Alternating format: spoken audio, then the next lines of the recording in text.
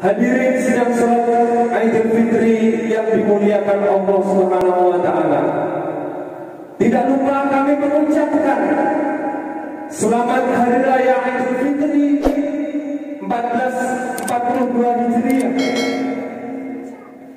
Taqabbalallahu minna wa minkum taqabbal ya karim. Mudah-mudahan amalan-amalan ibadah kita di bulan suci Ramadan, amalan-amalan ibadah puasa kita, tarawih kita, bacaan Al-Quran kita, tentunya amalan ibadah kita semuanya diterima oleh Allah Subhanahu wa taala. Amin amin ya rabbal alamin.